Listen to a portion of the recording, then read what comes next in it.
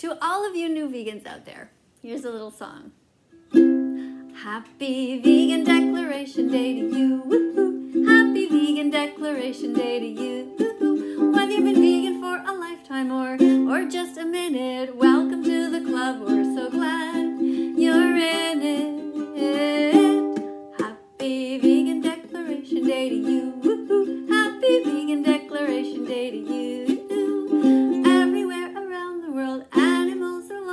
To thank you for your compassion and for allowing your heart to open up.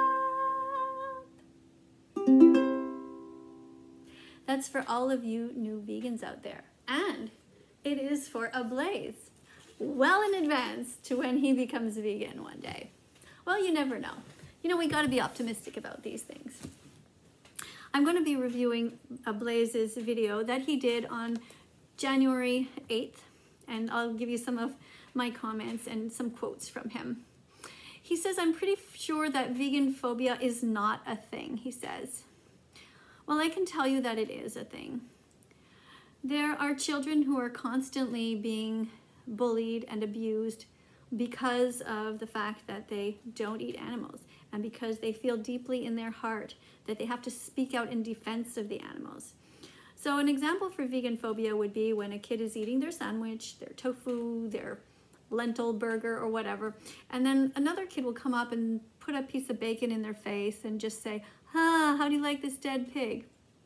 Now, see, that's an example of vegan phobia because veganism at its core is not about food, it's about the animals. And if a child is very well in tune and feels deeply that they don't want to pay for the rape, torture, and murder of these animals, which is what happens in these cycles, and then somebody comes and sticks the dead animal in their face on purpose, that is a form of very severe, severe discrimination because that kid is immediately taken back to the images that they've seen about the animals. Maybe they've seen some documentaries and it, it pains them to their core. One child actually committed suicide. I think there was many, but I don't want to quote ones that I haven't actually seen myself or read a specific, I mean, about. But, uh, you know, if, ki if this kid was bullied so much in that fashion that they committed suicide.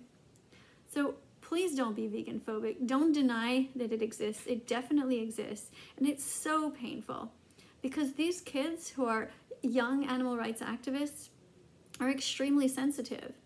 And they have, some of them been vegan since birth and others have become vegan at about the age of whatever, all different ages. It could be eight, nine, ten.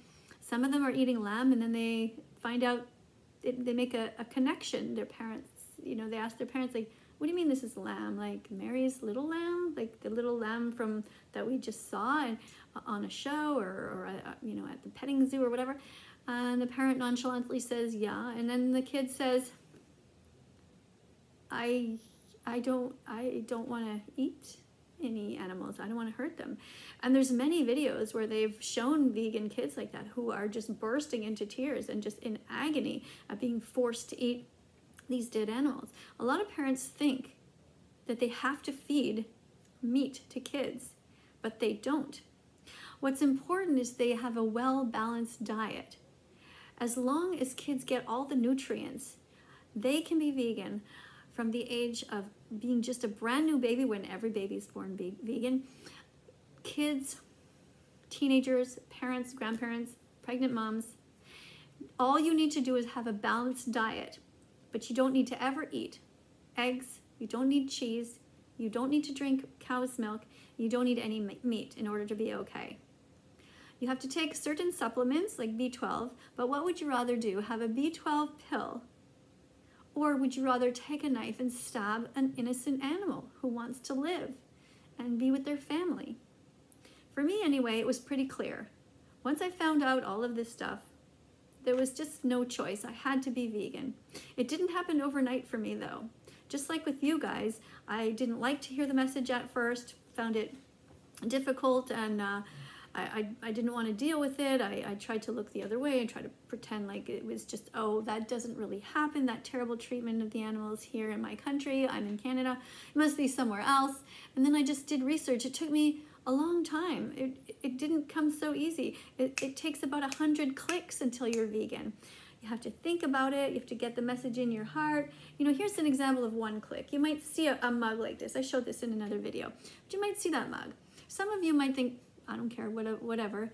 And others might look at it and go, okay, wait, cow's milk is for baby cows. And you might have that moment where it dawns on you, yeah, why am I drinking cow's milk?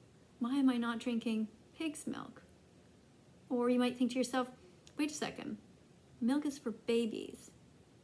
Why am I drinking milk past the stage of being a baby when no other animals do that? And why am I drinking the milk of another species? So if that really hits you in the head, you make that, that logical connection, and then you think, well, why is it that we do drink this milk? And then you realize it's these industries that have promoted these things to try to sell their product. And when you get that in your head, and when you see how the pigs are treated, or sorry, the cows are treated, did I say pigs before? I mean cows, obviously. The, the cows are treated in the industry and how they are removed. The babies are just ripped away from their moms so that we can steal their milk.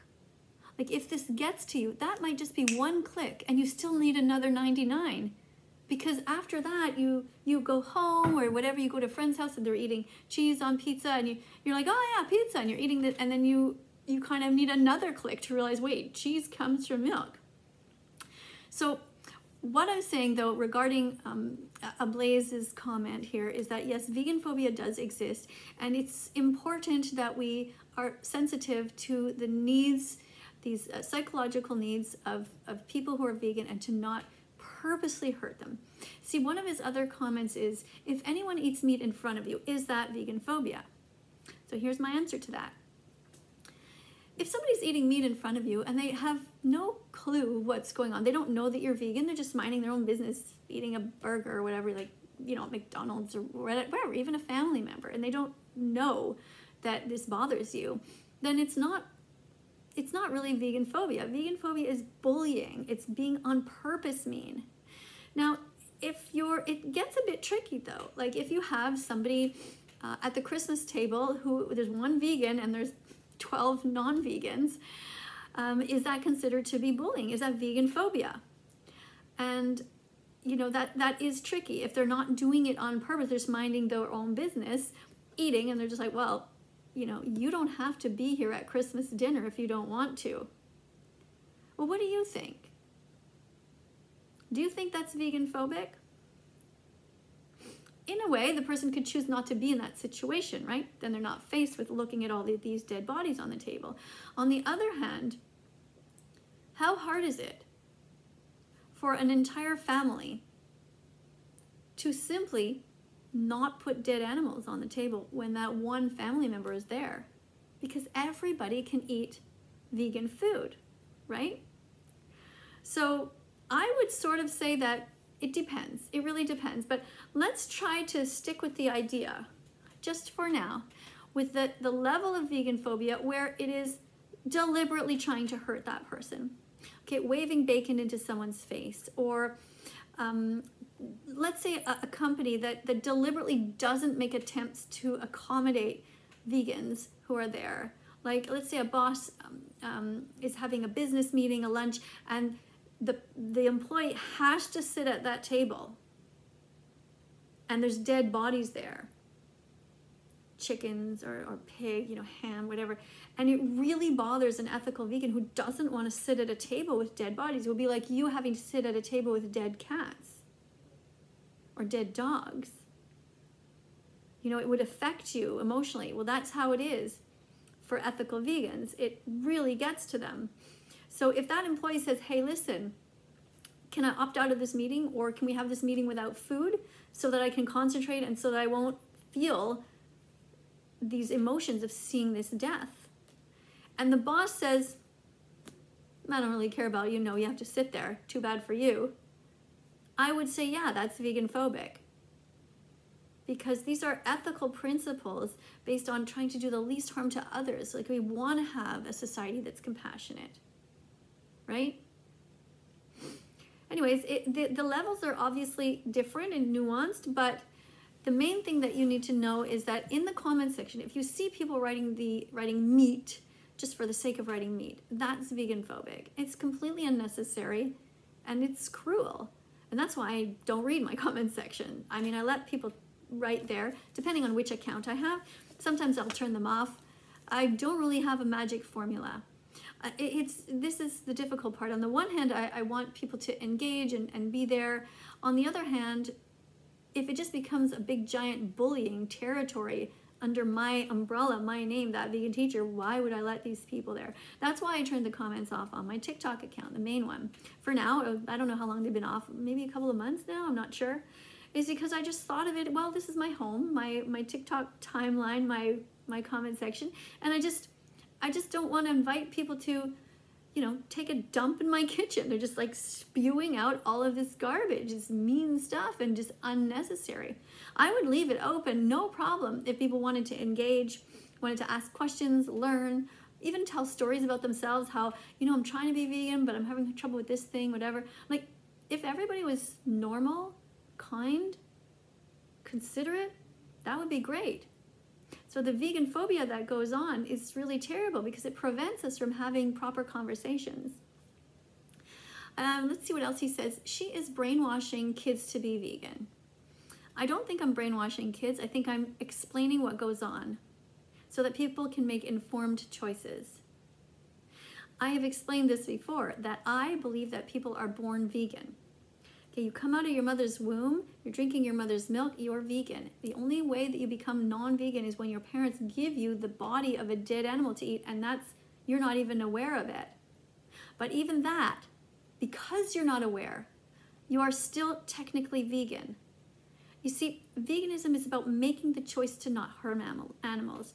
So like you guys right now, if you hear this message and you know how much these animals suffer, and then you deliberately eat them, then that's not being vegan. But if somebody, say I was at a party or something and some really cruel person put something in front of me that had a dead, like let's say it was, um, no chicken noodle soup or something. I thought I was just having soup and that turns out that they put some chicken broth in there and I didn't know. They did it on purpose just to kind of snicker. Like that would be vegan phobic but I would still technically be vegan because I did not deliberately try to hurt animals. This brings me to another point uh, that Ablaze has. He says, um, uh, what did he write? Something about, okay, you're saying that vegans should not, are you saying, or you are saying that vegans should not drive cars because the fuel comes from dinosaur fossils? Like, this doesn't make any sense. Because if I'm driving a car, I'm not deliberately hurting animals. I'm not on purpose trying to do anything. Dinosaurs died a long time ago. Some vegans try very hard to drive their car as little as possible because they want to protect the environment for these animals. And of course, this is all tied in. You know, we are all part of this giant web. We're all intertwined and interconnected. So the less pollution that we contribute to, the better for the animals and the people, right? Because it all is connected to the, to the planet. Um, I was just gonna say something. I noticed that he had blurred out on his video my, my image here that I had shown, which is this one. I was someone's baby. Please eat tofu instead. Why do you think he blurred out this image? You see, he could have helped just by showing when I was he showed an image of me talking like this and then he deliberately blurred it out. One because he thinks he might not get monetized by showing it which is not a concern of mine. I want to tell the truth. Or number two uh, he might just deliberately not want to show it to people because he's vegan phobic what would have been helpful is for him to actually show the true video that I was that I that I was in. That would have been the ethical right thing to do, ethically right thing to do, to show what I was showing so that people could see my message. So I'm not sure why he blurred that out, but I urge you to not blur this out if you ever do a, a video of this part, this segment. Because the reality is that this is what happens, and we need to, to know that we are hurting animals and what is the difference between showing this or showing the actual bacon you might say well there's a huge difference okay but what is it what is it think about it um, what else did he say tiktok is taking her down I, I don't know why people keep saying this. Uh, people are supposedly have been trying to, to close my account on TikTok for, for months now. There was supposed to be something on the 1st of December. They all were rallying, like sending each other a message. A million people clicked, yeah, let's get her down. And then it was supposed to be um, on Christmas Day. Nothing happened. Then on January 1st, nothing happened. And they're still apparently trying. And I just made a video today on TikTok about this guy, Ethan Trace. And he is apparently working with people to try to say that I broke eight Canadian laws or something, which is, it's just beyond ridiculous how ignorant people are. And that people believe these rumors. I mean, how is it breaking a law to talk about saving animals? And that people believe that. It's crazy. So I urge you to use your cognitive thinking your your your cognitive skills to think about what is going on just use your critical thinking skills like think does this rumor make sense? If, it, if, it, if you don't know that it's, if you don't know if it's true, don't repeat it, is basically my message. If you have not yet read this book, uh, Ablaze, here's one. I'm sure you probably won't read it, but this is the China study. And the reason I'm showing you is because this was a study that was done uh, on many, many people.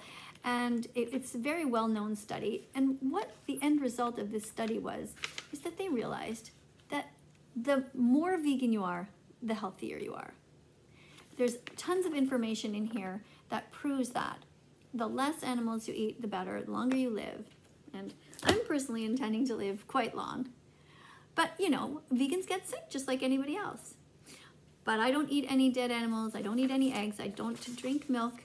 And I invite you to do the same thing. And um, I look forward one day, ablaze, to singing you, for real, the Happy Vegan Declaration Day song. You know, when you go home and you stab your fork into the, the meat on your plate, just think about it. Do you really need to make that decision to be cruel when you can choose to be kind? Go to Cronometer to find out what you're eating. You put your foods in there and it tells you what vitamins or proteins you might be lacking in case you're worried. But watch the movie watchdominion.com. I've said it many times and I'm going to repeat it forever because it's a great documentary to show you what really goes on. I thank you all for listening and Ablaze, um, you know, keep trying, be a good guy, and uh, I'll see you guys all in the next video. All right, take care.